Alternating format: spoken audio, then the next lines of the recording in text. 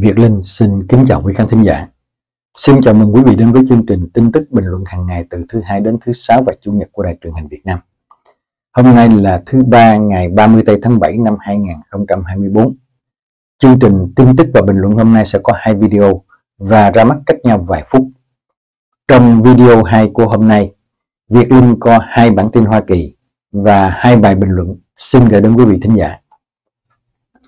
Chúng ta bắt đầu với bản tin Hoa Kỳ đầu tiên.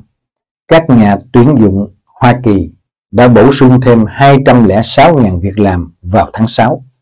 Một dấu hiệu cho thấy sức mạnh kinh tế tiếp tục tăng.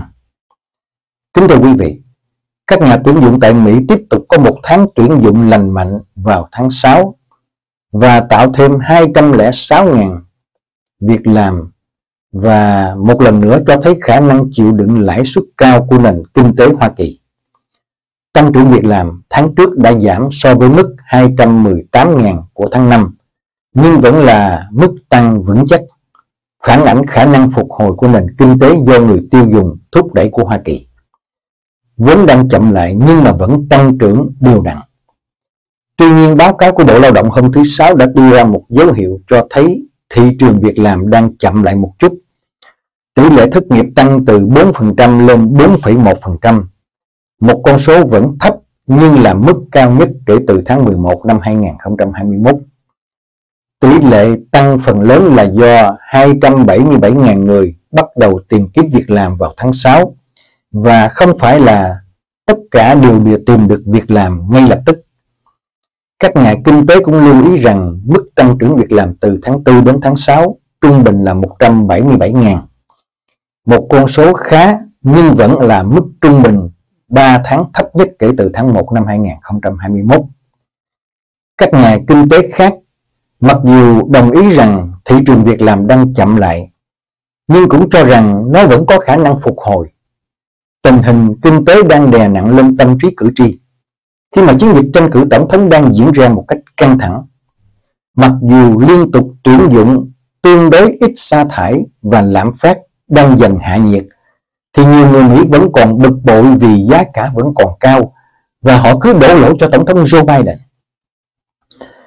Ngoài ra, số lượng việc làm được quảng cáo đã giảm đều đặn kể từ khi đạt đỉnh ở mức kỷ lục 12,2 triệu vào tháng 3 năm 2022 lãi suất vay cao hơn đáng kể đối với người tiêu dùng và doanh nghiệp được dự đoán rộng rãi sẽ gây ra suy thoái.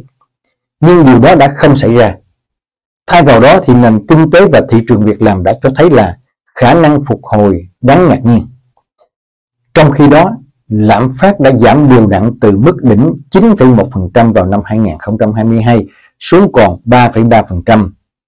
Và trong bài phát biểu tuần này tại một hội nghị ở Bồ Đào Nha, Chủ tịch của Fed là Jerome Powell lưu ý rằng mức tăng giá ở Hoa Kỳ đang chậm lại sau khi đạt mức cao hơn vào đầu năm nay.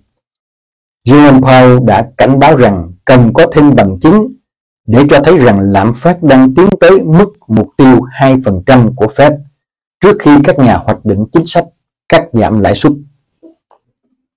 Và chúng ta bắt đầu bài bình luận đầu tiên trong chương trình hôm nay, kính thưa quý vị, với nhan đề Con hại cha Trump Jr.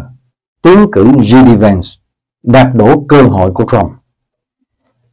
Kính thưa quý vị, trong một bữa ăn tối tại Mar-a-Lago, chỉ vài ngày trước đại hội toàn quốc của đảng Cộng Hòa, lúc đó thì Donald Trump vẫn chưa xác định là sẽ chọn ai trong những ứng cử viên làm người phó cho mình.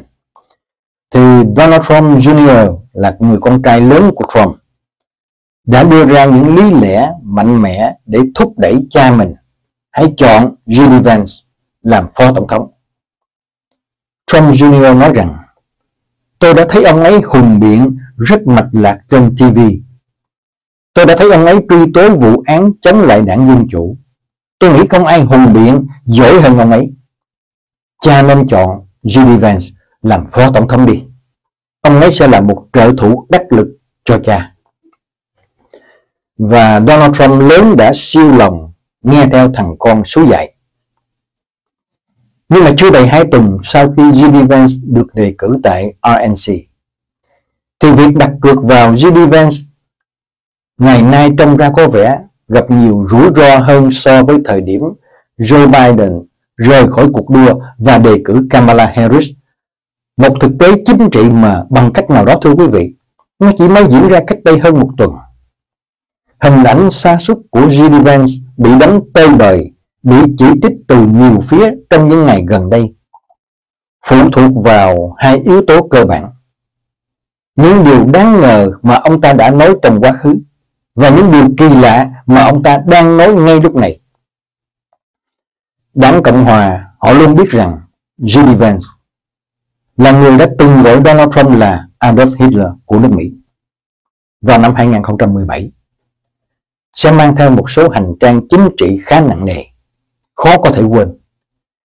Những bài viết blog thất thường của Ginny Vance từ những năm 2000 trông ra rất đáng xấu hổ.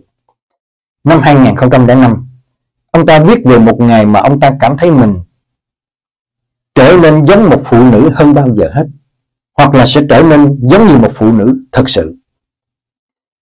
Vào thứ Bảy, tờ New York Times đã tiết lộ một số quan điểm mà J.D. Vance đã bày tỏ trước khi chuyển đổi sang ủng hộ MAGA. Nhiều bình luận của J.D. Vance hoàn toàn trái ngược với lời lẽ chính trị gần đây của ông ta. Trong chiến dịch tranh cử năm 2015 của Trump, J.D. Vance đã viết rằng Trump là một kẻ mỹ dân, là một kẻ sẵn sàng lợi dụng những người tin vào những điều điên rồ.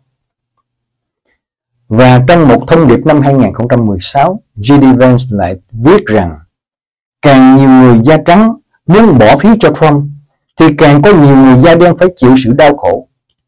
Tôi thực sự tin vào điều đó. Nhưng mà bình luận bị chỉ trích nhiều nhất của J.D. Vance trong tuần qua nó liên quan đến sức khỏe, sinh sản. Đây là một mặt trận chính trị và là một gánh nặng lớn đối với cơ hội thắng cử của Donald Trump nói riêng và J.D. Vance cũng như đảng Cộng Hòa nói chung thưa quý vị. Gạt sang một bên, những bình luận trong quá khứ và những vấn đề mới trong hiện tại nhận xét một cách công bằng thì J.D. Vance không hề có chút phong cách của một quý ông lịch lãm đúng chất đàn ông. Hãy xem lại trò đùa của ông ta về soda và nạn phân biệt chủng tộc. Nó đã tệ hại như thế nào tại một cuộc biểu tình ở quê nhà của ông ta vào ngày thứ hai. Giới truyền thông bảo thủ đã xuất hiện để chỉ trích bản chất khó chịu, bất nhã của J.D. Vance. Ban biên tập của tờ Wall Street Journal đã chỉ trích việc lựa chọn phó tổng thống của Trump vì đã ra mắt quá tệ chủ sở hữu của Fox News, Rupert Murdoch, người đã vận động hành lang để chống lại việc đưa J.D. Vance vào danh sách phó tổng thống. Và ông trùm truyền thông Dave Portnoy, người sáng lập Barstool Sport đã bình luận về một đoạn clip trong đó J.D. Gợi ý rằng cha mẹ và những người không phải cha mẹ nên bị đánh thuế khác nhau. Portnoy đã viết rằng các bạn có chắc rằng anh chàng này là một đảng viên Cộng Hòa đúng nghĩa hay không? Nghe hắn ta nói chuyện cứ như một tên bị thiểu năng trí tuệ phát biểu. Đảng Dân Chủ cũng đã tận dụng động lực chống lại J.D. Vance và liên tục mô tả ông ta là một người kỳ lạ, biến thái khi mà xuất hiện trên TV. Với một cuộc bầu cử hoàn toàn mới hiện tại khi bà Kamala Harris là ứng cử viên tiềm tàng của đảng Dân Chủ với sự ủng hộ vô cùng dồi dào đến từ nhiều thành phần khác nhau, thì ứng viên phó tổng thống của Trump lại bị chỉ trích, chê bai, đánh giá thấp và cho rằng đây không đúng là mẫu người đàn ông mạnh mẽ. Nhiều đảng viên Cộng Hòa đã đặt câu hỏi về liên danh Trump-Vance và họ cho rằng Judy Vance là lựa chọn tệ nhất trong tất cả các lựa chọn. Một thành viên đảng Cộng Hòa tại Hạ viện phàn nàn với phóng viên của tờ báo The Hill và nói rằng, tôi nghĩ nếu bạn hỏi nhiều người trong tòa nhà này, thì sẽ có 9 trong số 10 đảng viên Cộng Hòa sẽ nói rằng Judy Vance là một lựa chọn sai lầm. Ông ấy là người duy nhất có thể gây ra thiệt hại nghiêm trọng cho Donald Trump và cho đảng Cộng Hòa trong cuộc tranh cử năm nay. Và bản tin Hoa Kỳ thứ hai kính thưa quý vị. Tổng thống Biden chỉ trích tòa án tối cao là không bình thường khi ông ủng hộ giới hạn nhiệm kỳ và đưa ra các quy tắc đạo đức ràng buộc. Kính thưa quý vị, sau những đề xuất chậm chạp nhằm sửa đổi tòa án tối cao, trong hầu hết nhiệm kỳ tổng thống của mình, Tổng thống Joe Biden đã kêu gọi những thay đổi lớn đối với tòa án vào ngày thứ hai, ủng hộ việc giới hạn nhiệm kỳ cho các thẩm phán và một bộ quy tắc đạo đức có thể thực thi được.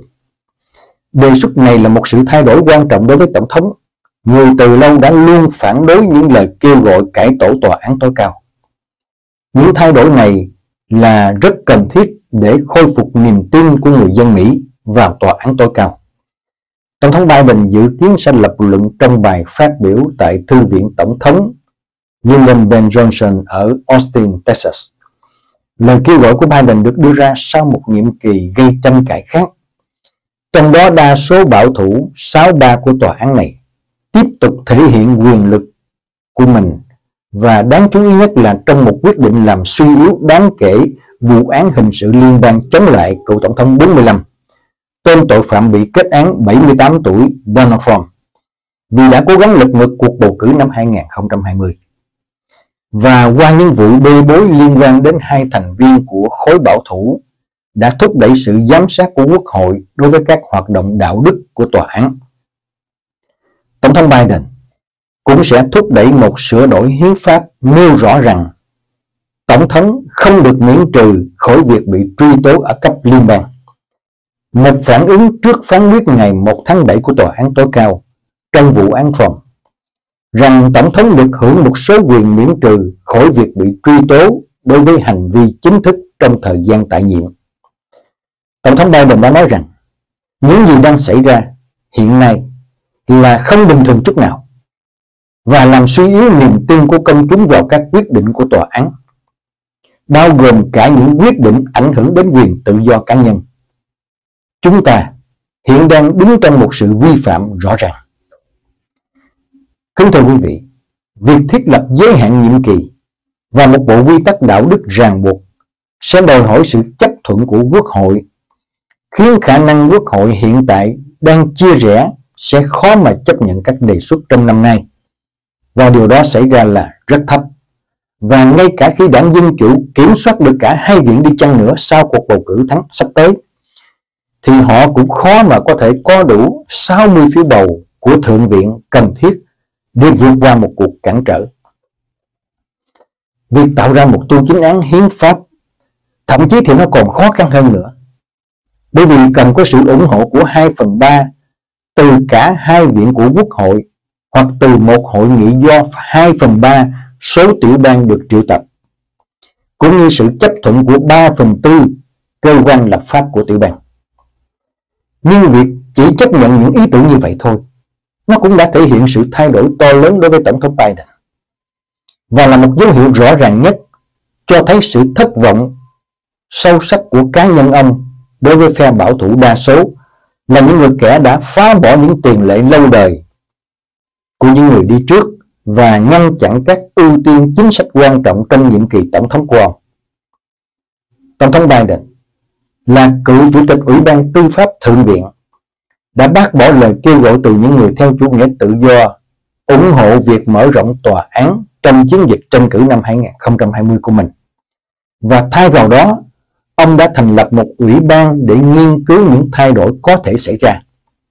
Nhưng mà sau đó rất tiếc là ông đã không hành động gì sau khi báo cáo của ủy ban được công bố vào cuối năm 2021.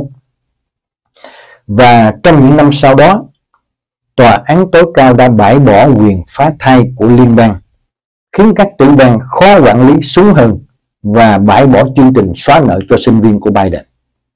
Đó là một trong số nhiều vụ án do phe bảo thủ đa số quyết định, khiến đảng Dân Chủ trở nên tức giận và làm cứng rắn quan điểm của công chúng về tòa án như một thực thể quá thiên vị. Qua những diễn biến đó, Tổng thống Biden đã lập luận rằng cần phải cải cách để khôi phục lòng tin và trách nhiệm giải trình đối với tòa án tối cao.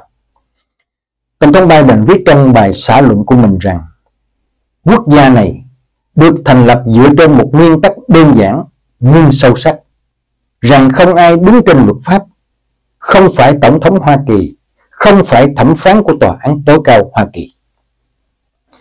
Bộ luật đạo đức được Tổng thống Biden ủng hộ sẽ yêu cầu các thẩm phán phải tiết lộ quà tặng, kiềm chế hoạt động chính trị công khai và tự rút lui khỏi các vụ án mà họ hoặc vợ hoặc chồng của họ có xung đột lợi ích về tài chính hoặc các xung đột lợi ích chính trị khác. Và bộ luật này sẽ có tính ràng buộc và có thể thực thi, mặc dù không rõ Tổng thống Biden hình dung ra cơ chế thực thi sẽ như thế nào. Riêng đề xuất giới hạn nhiệm kỳ của Tổng thống Biden sẽ hạn chế thẩm phán trong 18 năm phục vụ tích cực tại tòa án tối cao. Sau đó, Tổng thống sẽ bổ nhiệm một thẩm phán mới sau mỗi 2 năm theo kế hoạch. Và đề xuất đó có thể sẽ phải đối mặt với những thách thức pháp lý vì hiến pháp quy định rằng các thẩm phán giữ chức vụ của họ trong thời gian có hành vi tốt. Đây là một điều khoản từ lâu được hiểu ngầm là một nhiệm kỳ trọn đời. Và chúng ta bắt đầu với bài bình luận thứ hai vào cuối chương trình hôm nay kính thưa quý vị. Cuộc bầu cử kỳ lạ nhất thế giới. Một tên tội phạm 78 tuổi tranh cử với một công tố viên 59 tuổi. Kính thưa quý vị, Kamala Harris khởi đầu một cách đáng gồm trong một chiến dịch tranh cử tổng thống không mấy khả thi. Nhưng bà đã khẳng định cuộc đua này là một chiến dịch cứng rắn chống tội phạm. Đối với một tên tội phạm bị kết án, đây là một trận chiến giữa một công tố viên chống lại một tên tội phạm. Và đặc biệt là bà luôn nhắc đến khẩu hiệu này trong mỗi lần phỏng vấn hay vận động tranh cử. Đây là một câu chuyện phù hợp với tình hình hiện tại và có thể được những người chưa quyết định, những người dao động, những người trẻ tuổi và thậm chí cả những người ghét Donald Trump và không thích Joe Biden. Họ đều đón nhận một cách vui vẻ và nhiệt tình Kamala Harris. Câu hỏi của cựu dân biểu Adam Schiff gửi tới giám đốc FBI Christopher Wray vào tuần trước đã tóm tắt sức mạnh của cách tiếp cận này bằng một câu hỏi khá thú vị, thưa quý vị. Adam Schiff đã hỏi rằng liệu FBI có sẵn sàng thuê những đặc vụ mới là người có 34 tiền án trọng tội hay không? Và đây cũng chính là câu hỏi dành cho các đảng viên Cộng Hòa. Họ có sẵn sàng đề cử một tên tội phạm từng bị kết án 34 trọng tội hình sự làm ứng viên tổng thống cho đảng Cộng Hòa hay không? Câu trả lời của những đảng viên Cộng Hòa là, Who cares? Nhưng mà với Donald Trump thì khác, thưa quý vị. Không có gì ngạc nhiên cả. Khi mà Trump đang thực hiện nỗ lực tối đa để hủy bỏ vụ kiện ở New York là vụ kiện đã khiến ông ta bị gắn mát với một danh gọi mới là tên tội phạm với 34 trọng tội hình sự đã bị kết án. Ngay cả khi thành công đi chăng nữa, thì Trump cũng sẽ không thành công trong việc hủy bỏ bản án ở New York trước cuộc bầu cử. Thẩm phán Warren Merchant, người chủ trì phiên tòa ở Manhattan, sẽ khó có thể đưa ra một phán quyết nào mà có lợi cho Donald Trump. Với quá trình phúc thẩm diễn ra chậm chạp, Donald Trump có thể sẽ không thể nhận được câu trả lời cuối cùng trong năm nay về việc bản án của ông ta có còn hiệu lực hay không. Đúng thật là trớ trêu. Khi mà Donald Trump là bậc thầy của sự trì hoãn, là người đã vận hành hệ thống để ngăn chặn các phiên tòa ở Washington DC, ở Atlanta, ở Palm Beach. Thì giờ đây ông ta lại là nạn nhân của sự trì hoãn của luật pháp. Khi mà ông ta bị từ chối hủy bỏ ngay lập tức bản án hình sự của mình. Donald Trump đã làm khá tốt với các công tố viên trước đây. Vụ án nổi loạn ngày 6 tháng 1 sau quyết định miễn trừ của tòa án tối cao thì không biết đến ngày nào mới được đưa ra xét xử. Tùy theo cách làm việc của tòa phúc thẩm, vụ án ăn cắp tài liệu mật ở Mar-a-Lago đã bị bác bỏ vì những lý do đáng ngờ của em gái nuôi của Trump là thẩm phán Eileen Cannon. Vụ án ở quận Fulton, Georgia thì đang bị hoãn lại vì kháng cáo của Donald Trump. Rốt cuộc thì chỉ còn lại vụ án ở Manhattan, New York. Và để lật ngược phán quyết mặc dù các hành vi phạm tội liên quan đến New York đã xảy ra trước năm 2017, trước khi Trump tuyên thệ nhậm chức. Trump đã dựa vào vụ kiện Trump kiện Hoa Kỳ và với quyết định miễn trừ của những tên đồng bọn bất hảo trong tòa án tối cao. Đường lối tấn công của Trump là sáu bằng chứng chống lại ông ta không thể được chấp nhận vì một chú thích kỳ lạ trong ý kiến miễn trừ của chánh án John Roberts. Trong đó ông ta nói rằng công tố viên không được phép chấp nhận lời khai hoặc hồ sơ riêng tư của Tổng thống hoặc các cố vấn của ông khi điều tra hành vi chính thức đó. Việc thanh tra như vậy sẽ có tính xâm phạm cao và sẽ làm tê liệt nghiêm trọng việc Tổng thống thực hiện nhiệm vụ chính thức của mình. Kính thưa quý vị, tuyên bố mang ý bảo vệ Trump tối đa đáng kinh ngạc của John Roberts chắc chắn sẽ trói buộc bên công tố trong bất kỳ vụ án nào khác liên quan đến Trump. Hiến pháp không cho phép Tổng thống tìm kiếm hoặc là nhận hối lộ. Chính vì vậy chính phủ có thể truy tố ông ta nếu ông ta làm như vậy. Tuy nhiên, việc loại trừ khỏi phiên tòa bất kỳ đề cập nào về hành vi chính thức liên quan đến hối lộ sẽ làm cản trở việc truy tố. Nhưng mà điện lý quận Manhattan, Alvin Bragg lập luận rất có lý rằng các tuyên bố của John Roberts không liên quan đến vụ truy tố này. Bởi vì vụ án ở New York tập trung vào các hành động riêng tư, không chính thức mà tòa án cho biết là không có quyền miễn trừ. Như John Roberts đã lưu ý rằng Mặc dù quyền miễn trừ của Tổng thống là cần thiết đối với các hành động chính thức để bảo đảm rằng quyết định của Tổng thống không bị bóp méo hoặc bị đe dọa của các vụ kiện tụng trong tương lai phát sinh từ những hành động đó. Nhưng mối quan tâm đó không hỗ trợ quyền miễn trừ đối với những hành vi không chính thức. Và lời kết cho bài bình luận hôm nay, kính thưa quý vị. Nói một cách khác, theo quan điểm của John Roberts, chức tổng thống đứng trên luật pháp về hành vi chính thức chứ không phải cá nhân là tổng thống. Hãy để thẩm phán, xét xử one merchant là người sẽ giải quyết tất cả vấn đề này.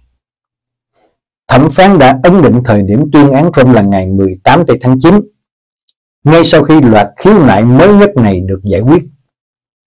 Donald Trump đã chơi trò gian lận hệ thống pháp luật kể từ năm 1973 Ông ta đã vượt qua gần 4.000 vụ kiện và chưa một lần nào vướng vòng lao lý hay là bị ghi tên vào sổ bìa đen. Mà chỉ mãi đến năm nay, năm 2024, một con số đen đuổi đã đến với Donald Trump. Ông ta đã chính thức bị một bồi thẩm đoàn kết án có tội với 34 trọng tội hình sự. Chính thức mang danh sinh một tên tội phạm bị kết án 78 tuổi đi cùng với tư cách ứng viên tổng thống của đảng Cộng hòa MAGA. Kẻ thủ ác giờ đây phải đối mặt với một công tố viên tại tòa án dư luận và tại một cuộc tranh luận có thể xảy ra. Bất kể là Kamala Harris thắng hay không thắng cử, thì một ngày nào đó Donald Trump chắc chắn cũng phải lê bước chân vào tù. Không thể tránh khỏi được. Việt Linh xin cảm ơn sự lắng nghe của quý vị thính giả khắp nơi. Xin kính chúc quý vị thính giả được luôn an lành, nhiều sức khỏe và xin hẹn gặp lại trong chương trình ngày mai. Xin kính chào.